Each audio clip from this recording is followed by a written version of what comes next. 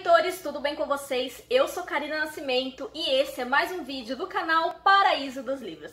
Se você é novo por aqui, seja muito bem-vindo. Eu espero que você tenha uma excelente experiência com esse vídeo e para você não perder nada, já se inscreve e deixa o like que ajuda muito no crescimento desse canal.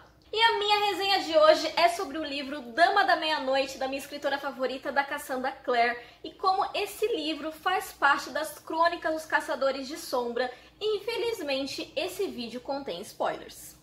Esse livro dá início à trilogia Os Artifícios das Trevas, sendo a terceira série das cinco que compõem as Crônicas dos Caçadores de Sombra do universo de Shadowhunters, cinco anos após os eventos de Cidade do Fogo Celestial, Emma Kaisdé busca pistas sobre a suspeita morte de seus pais, que a Clave considerou, assim como muitos Shadowhunters, que eles morreram devido à guerra maligna criada pelo Sebastian ao criar os seus crepusculares. Porém, Emma nunca acreditou nesse motivo e decide investigar quem é o verdadeiro culpado e fazer justiça com suas próprias mãos. Junto com seu parabatai, Julian Blackthor, Emma descobre que seres do submundo estão sendo assassinados com as mesmas marcas encontradas nos corpos dos seus pais, e à medida que a história avança, fica impossível em saber em quem confiar.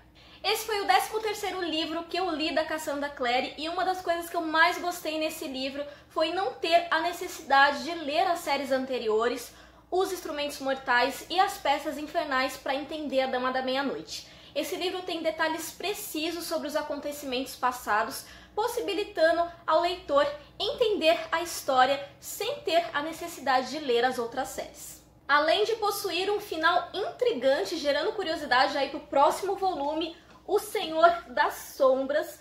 E se você tem vontade de ler as séries Os Instrumentos Mortais e as Peças Infernais e quer ler A Dama da Meia-Noite, esse livro contém spoiler das outras séries.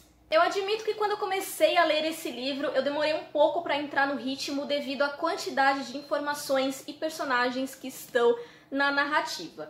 Em paralelo com a história da Emma, existe a família Blackthor, composta de Julian, Mark, Ellen, Tiberius, Lívia, Drusilla e Octavia. Então é uma galerinha aí pra gente memorizar e gravar os nomes ao longo da história, então demora um pouquinho aí pra gente seguir adiante. O Júlio acaba ficando responsável pelos seus irmãos menores, porque ele mata o seu pai, que foi transformado em um crepuscular, salvando os seus irmãos na Guerra Maligna. E como os seus irmãos mais velhos, a Ellen e o Mark, têm sangue de fada, eles são exilados porque as fadas tiveram uma participação negativa aí na guerra, sendo banida dos acordos da clave em Os Instrumentos Mortais.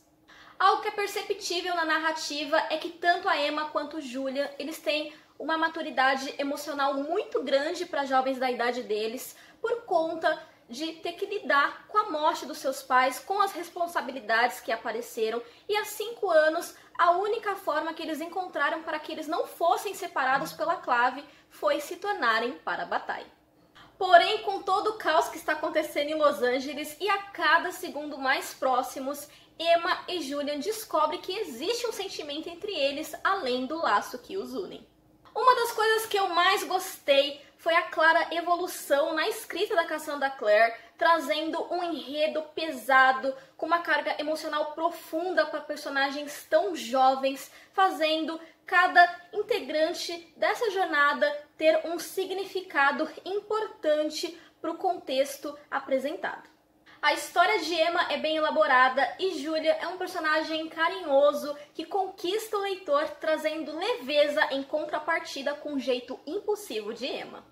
O retorno de Mark da caçada selvagem é um ponto alto na história porque ele precisa reaprender a conviver com os irmãos e suprir a falta dos anos passados, sendo aí um grande desafio para todos, já que eles não podem contar sobre o envolvimento com o reino das fadas, que agora é proibido tornando assim o personagem de Mark alguém marcante nesse primeiro livro por conta da sua ligação com o reino das fadas. É possível ver como elas estão lidando com as condutas da clave e também sendo mostrado aqui nessa narrativa que os anos que ele viveu nos reinos das fadas não serão facilmente apagados, já que ele teve uma relação com o que era algo que eu gostei muito neste livro.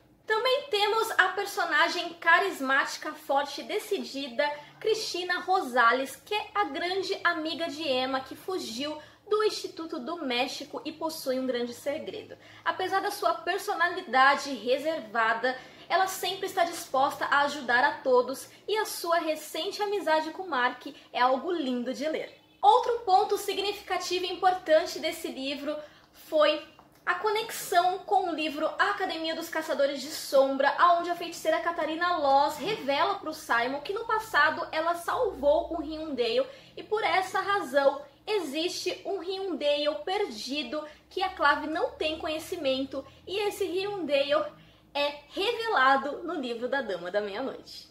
E quando eu vi que a Cassandra Clare tinha colocado essa informação em A Dama da Meia-Noite, eu surtei, porque eu tinha acabado de ler A Academia dos Caçadores de Sombra, então foi uma surpresa muito bem-vinda. Falando em surpresa e enredo bem elaborado, o vilão desse livro foi surpreendente para mim. Eu fui enganada a maior parte desse livro pela autora. E quando a Emma e os irmãos Blackthor descobrem quem é o vilão, e ele mostra os motivos que o levaram a fazer o que fez. Eu não sabia se eu sentia raiva ou amor por ele. Além disso, é através desse vilão maravilhoso que a semente sobre o amor proibido é plantada na cabeça da Emma, que não consegue esquecer o assunto, chegando a negociar com Jen Kaisder, o seu ancestral, que retorna nesse volume para marcar um momento crucial, aonde ele conta para Emma os motivos por que, que dois parabatais não podem se apaixonar e o que acontece caso eles insistam, sendo aí uma das revelações mais importantes desse livro, já que o tema é discutido em toda a narrativa por conta do amor de Emma e Julian. Apesar de ser o primeiro livro de uma trilogia, Dama da Meia-Noite tem um final conclusivo. Obviamente, deixa algumas pontas soltas aí para gerar curiosidade para o próximo volume, O Senhor das Sombras, mas ele fecha aí todos os assuntos principais neste volume. Eu estou muito curiosa para ler O Senhor das Sombras, quero muito descobrir as surpresas que esperam aqui nesse segundo volume.